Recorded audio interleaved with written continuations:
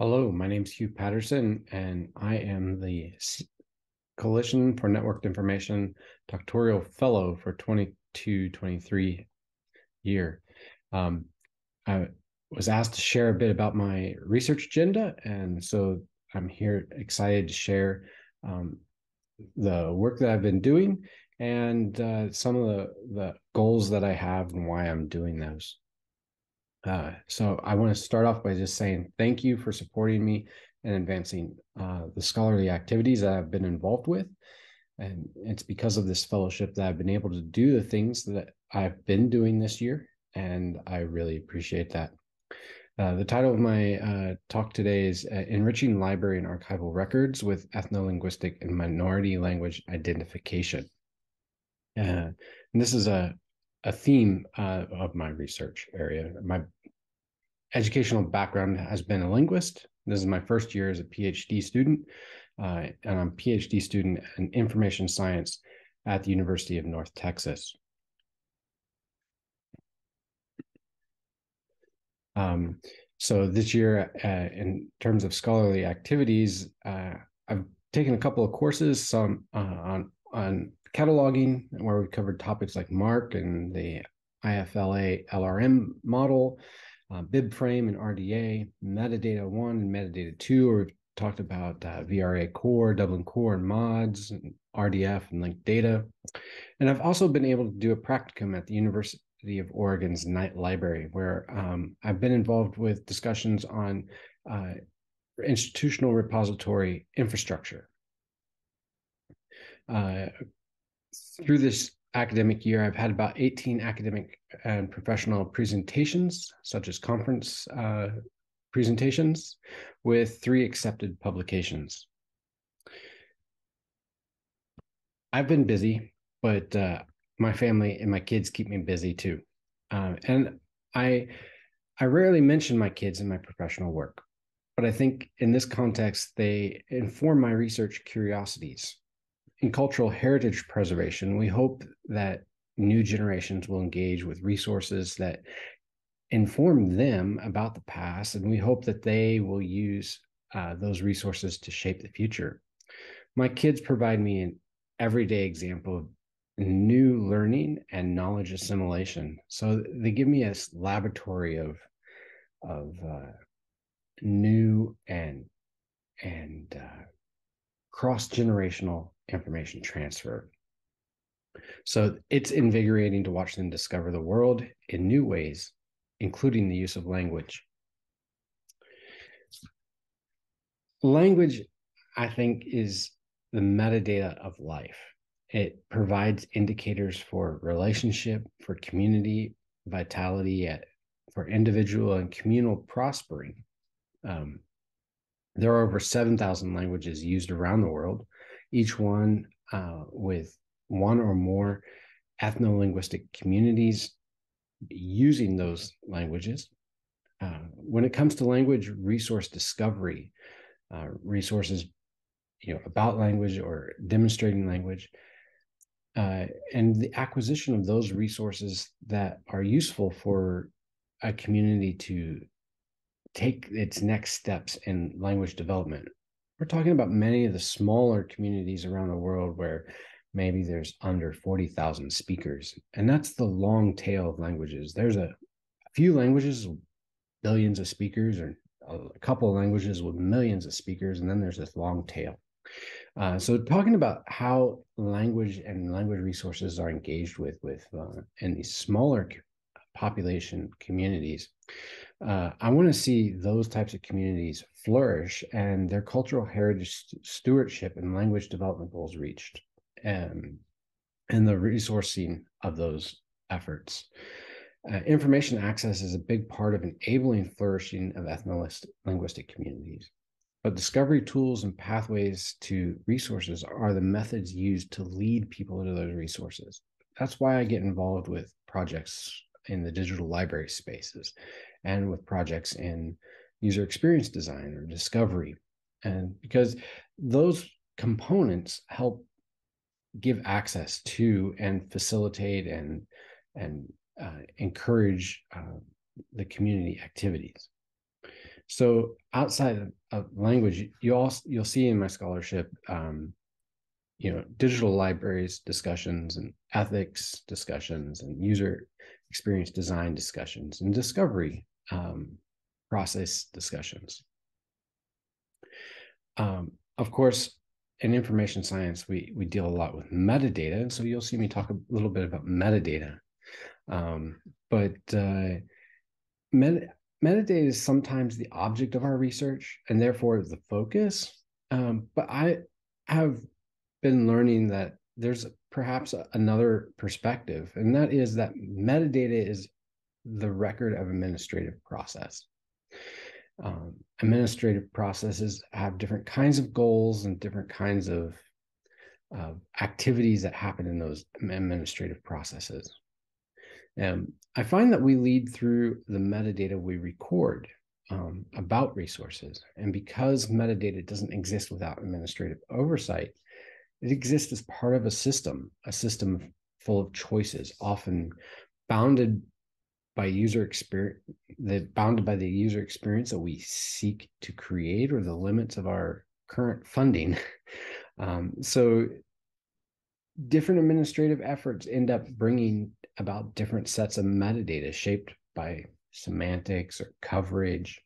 Um, we might use fancy terms like metadata quality to cover these uh, divergent uh, scenarios. But uh, it's in this context then that my research comes out uh, um, where I'm working in between these different administrative processes uh, to expose language resources uh, that exist um, between you know current or past administrative processes that haven't fully uh, developed metadata specifically uh, for or identifying the connection to a specific language community. And so I'm looking for ways to move unstructured clues about resources into structured elements. Um, you know, we I I am excited to engage with about graphs of language identification indicators for the benefit of minority language users. So maybe these are fancy terms, but uh, I want to find ways to enrich structured information from free text and context related to the terminology used around language identification. Um, uh, this involves cross language, uh, like language names are different across different languages. And for example, French uh, spoken uh, referred to in German as Allemand, um, or in English as French, but in French it has its own autonym, right? So um, the language identity information, the information extraction from records, uh, when records exist in multiple languages or different languages, moving from free text to structured text, and in some ways this borders on uh, information classification, right? Uh, so my central question is how do we go from unstructured data to structured data in a context where we want trusted information? Uh, to answer this question, I'm pursuing research in the area and the use of thesauri and weighted graphs within search processes. And I'm applying this in the context of library and archive catalogs. So uh, I'm looking for language resources that are not designated to be about a a community, an ethno-linguistic community or a language, and I'm looking in parts of the record that uh, would, uh, you know, be more free text areas. Um, for an example, though, um, let me give you an example of Karbi. Karbi is a language of Northeast India. Um, many people today are, who know about Karbi are using the term Karbi, but in the Library of Congress subject headings, it's known as the Mikir language. It has a Library of Congress classification number, but that number does not have a URI associated with it yet. In the ISO 639-3 standard, which is a standard for identifying language entities, um, it is referred to as Karbi, and it has a code of MJW. There's a second entity, a related language in the ISO 639 uh, 3 standard. That's Amri Karbi. And it's been known as Amri Karbi since 2006, which before that it was just Amri. And it's got a different code to indicate that it's a different entity.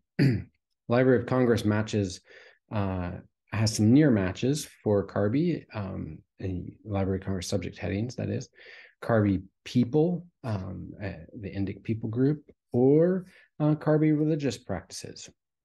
However, scholars who might be talking about this language might use the term Karbi Karbak or Hills Karbi or Plains Karbi and refer to different languages in these ways looking at it more in a traditional uh, graph kind of way of looking at it, we uh, uh, can see that the more cultural components are green on the right hand side, and the Amri Karbi and its related terms are purple on the bottom, and then the terms related to the language Carby would be in gray. Um, so there's a couple of different things that we could uh, look for if we're looking across uh, records in free text or in identifiers that would determine relevance. When we look at two specific resources, um, uh, a grammar of Karbi, it's an award-winning grammar written by a, a, student at the University of Oregon. Um, and we look at uh, a particular resource in the Library of Congress. Um, uh, it's a collection of conference proceedings. Um, well, it's, it is a conference proceeding. It's a collection of conference papers. Um, the status of women in tribal societies at Karbi and Dimasa. Neither one of these resources actually has Karbi in the structured data um, related to its subjectness. So uh, the subjects there for the grammar of Karbi are, are descriptive and historical, comparative linguistics, Northeast Indian languages, Southeast Asian languages, Tibeto-Burman languages, typology. But the actual language that it's about, interestingly enough, doesn't appear in the subjects.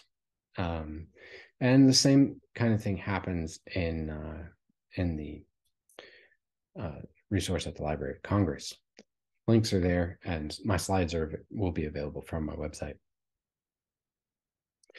Now, if we were to to look at look for Karbi across a couple of different information aggregators um, in the in the community of people who aggregate materials about languages, Open Language Archives Community is a, a consortium of, of archives that aggregate language resources. And they they have three known resources on Amri Karbi and 11 on Karbi. But uh, look, Glottolog has a few more. Their coverage is a little better. The Virtual Language Observatory, which is the EU Clarin um, interface for discovering language resources, knows about nine items, but they don't make the distinction quite clearly between Amri, Karbi, and Karbi. And the same thing with the, the Google Books and WorldCat, but WorldCat has a, a rather large coverage. Um, when you type in Karbi, you can get uh, about 600 items. Uh, so uh, the this just kind of shows that the I didn't check all 600 items, but um, I did check all 38 of the the Google Books to be about um, Mikir Karbi, so that they're on allegedly about Karbi, um, but uh, whether or not they're had the right uh, Library of Congress subject heading associated with them is another qu- valid question uh, still out there. So we can see that discovery is impacted by our understanding of concepts, and uh, that's one of the things that we that I'm exploring is how to develop relevance uh, for exposing these resources to searchers who are looking for things about the smaller languages of the world or the languages with the smaller populations. So my name again is Hugh Patterson, and you can reach me at i at hp3.me. My website's uh, Hugh for us, uh, and it's an HTTP, not an HTTPS. But um, I'm interested in discovery processes, networks and graphs, metadata, digital libraries, ethics, language, and user experience design. And I'm interested also in collaborating with you. So let's do something together. Thank you for supporting my scholarly activities this year. Uh, and I would appreciate the opportunity to meet many of you. Thanks a lot.